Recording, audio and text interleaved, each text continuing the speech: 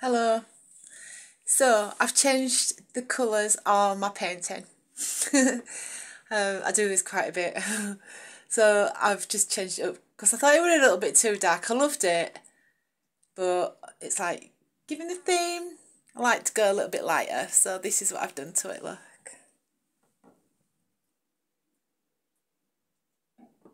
Hope you love it. Because I do. I mean, look at it, it's quite nice. You can get a good view of it. It's really difficult to give um, a good picture because I can't see the the. That's it. Because I can't see the front with the front facing camera, unfortunately. So, anyway, I'd love to know your your view on that. If you like it or not. If you if you think the other one better or this one's better, give me a thumbs up. Okay. Thank you. Bye.